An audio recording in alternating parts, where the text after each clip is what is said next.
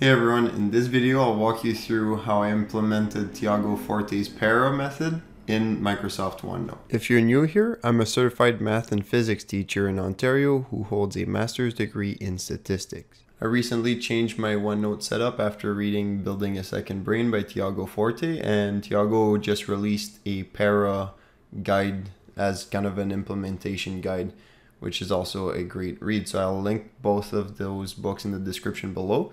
And the other thing is all the timestamps will be there as well. I encourage you to post your comments and questions below. All right, so let's go through all the notes I captured using my phone mostly. I capture them sometimes using my computer or a uh, web uh, snip tool and that kind of thing. But basically the OneNote badge, which will you'll see a little card appear. I already talked about it in a couple other videos. So let's go through these notes. The first note I have is plan week. It's just a reminder to plan my upcoming week. I usually do that on the weekends, mostly on Sundays. My review day is mostly Sundays. That's where I sharpen the axe. And here there's some Kindle deals. Honestly, uh, it's pretty rare to find like good books on there, but sometimes sometimes you do, and once in a while I'll look at it. These were my goals for the summer. Uh, I was supposed to get hip surgery done and it got delayed. So basically, I'll just archive that. So again, I'm implement I implemented the para method. So that's P A R A projects areas resources archive. So this is going straight to the archives because I don't need it anymore. So I'll move and then if we go and look at the archive, I'll put it into the um, maybe projects or I'll just put in the miscellaneous. Okay, so now the next note is was to look at the Fitbit data, um, and I kind of already did. So um, this is an article idea. So I'll put all the articles at the top, and then I'll move them to my Notion. And again, uh, my, I have a Notion dashboard, which I'll uh, talk about in another video. So you'll see a card appearing in the top right. Uh, food tactics, that's an article idea. So I'll add that to my content creation idea. Uh, first year of teaching takeaways, that's another uh, content idea. Pro tip. So every time I have a good idea about creating content, I add it uh, to my OneNote and then I, I bunch them up all into Notion and then eventually I actually work on them when I have time and when I judge it's the right time to do it.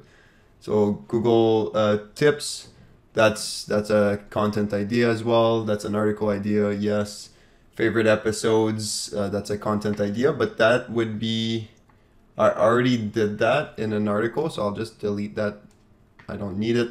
Um, add life chapter, so that's in a project that I'm currently working on. I'll put that in the links as well. So that's my daily mood analysis. I wrote the first chapter already. Uh, eyesight analogy for the provincial math test, adaptive testing. So that's a content idea. So I'll leave it at the top. Um, my coworker suggested watching The Bear on Disney Plus. Uh, apparently, it's a good show. And then another coworker said to watch Emmett Till and uh, Le Temps. That's two movies. So I'll add them to some someday maybe. This is where I keep a list of TV shows and movies I, I want to watch, and it's always good because you spend a lot less time scrolling and trying to find something to, good to watch. You let other people distill the uh, the signal from the noise, and then you just listen to the signal, right? So these three things, I'll I'll do it. I'll uh, put them in someday or maybe then maybe instead of practice sets, so that's a software to mark. So that would be in the area. It's not something I'm actively working on, but it's part of teaching. So I'll try to find teaching. It's the fourth one. I just take it, drag it in, and then again we keep going. Uh, add honorable mention to Friday Night Lights, the best TV shows. So that's content idea. So I'll I'll leave it at, I'll leave it in Notion because I already have a post idea for top five TV shows. Uh, this is a gift for my partner. So it's a um, Patagonia shirt. Uh, it's quite expensive. uh, so I'll add it to my list of gifts for her. So I'll, I'll do that next. And then these are shoes that I'm interested in for myself. So I'll add that to my gift list in Notion. And then uh, compare Daylio ratings with how we feel valence. So that's again, that's a project of the Daylio thing. There's the How We Feel app, which is a great app. I'll probably make a video on that relatively soon. And I honestly like it more than Daylio right now. So I'll try to compare how the ratings um, are different and just analyze the how we feel data once I can export it. So I'll add that there. That's definitely something I want to do. Uh, someone sent me this because I mentioned I might start doing Tai Chi just because I like that kind of thing, like yoga and stretching. But I'm also getting a surgery, so that would be a good way to do physio and movement, but also like that's friendly on the body. So that I think I'll add to my calendar. So this I will add to my calendar for after surgery. I'll just uh, add a reminder in my Google Calendar saying check out Tai Chi and I'll link to this picture.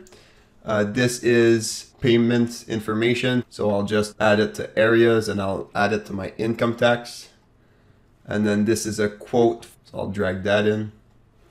Uh, communication. So that's for teaching. So I'll add that to my to-do list.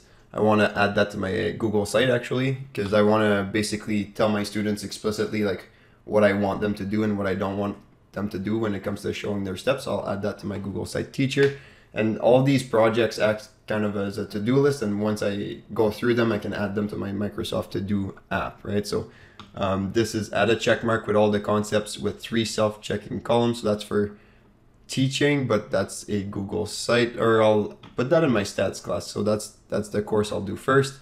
Quote in Delio book. So that's a Delio book. I'll put that in uh, income tax. So I, I bought the Snipd Premium. I'll also link to a video uh, how I think it's worth it to get the Snipd Premium. And I have the early adopters discount as well. So I'll add that to my income tax as a receipt. Oops, didn't work. Okay, there you go. Uh, this is a Dyson for a air purifier because we are moving. So now I realize that I do need a new project because we are moving. So let's head over to the projects and let's add a project for moving. So I went ahead and added a project at the bottom on the left here. So I'll just write uh, Dyson air purifier and that way I'll be in my moving project. Uh, full cycle beechwood maintenance. So that's a bike store that I was recommended when I told my coworkers I was moving there. So I'll add that in the moving, but I'll also add it in my Google Cal. So that one, I'll, I'll put it in there. Uh, poker hands. I posted it somewhere else, so I don't need that anymore, but I also made videos about that already. So I'll just straight up delete that. I'll never need that again. Uh, the project, uh, oh yeah, so this is an AI. Um, Gutenberg, they have a bunch of free books but now the AI can read those books and create audiobooks and it's completely free. So that I'll probably share as a tweet or something. So I'll just uh, put as Twitter post here. It's a good idea. Okay, uh, these are the shoes. Things I've changed my mind about. So um, religion, I find more utility and, and like belief and community and kind of thing. Flossing your teeth, I've changed my mind about um, these kinds of things. That's a receipt. So I'll I'll just add that to my receipts, I have that in the resources, so I'll just write uh, uh, insurance, life insurance receipt. And then I'll drag that in my receipts. And the last note was a recommendation for a place to eat and swim near my new house. So we're gonna add that there. So I'll go ahead and add all of these notes in Notion and wherever they go. But basically that's my process for reviewing my weekly captures. I do it on Sundays. And I find that the para system is very useful because it's super flexible and you can make it your own. The other thing I find with para is that um, the project centered makes you take action as well. Because when you just file everything under like tags or um, like a hierarchical structure of like a psychology and then books and that these kinds of things, it's like you have a bunch of notes that go everywhere and you you just collect notes and they collect dust. dust. So that's not ideal. The project centered approach is much better. That's what I found so far after probably six months to a year of using it. As you can see, organizing your notes and doing your weekly review doesn't take that long. Even by explaining everything I was doing, it takes between like five to 20 minutes, uh, depending on how many notes you have. And sometimes I miss a couple weeks, so it'll take a bit more time. But anytime you have dead time or transition time, you can review a little bit at, at a time, and that helps as well. Let me know your thoughts and comments below. And this video is one of the videos in my second brain and GTD playlist, so make sure to check those out.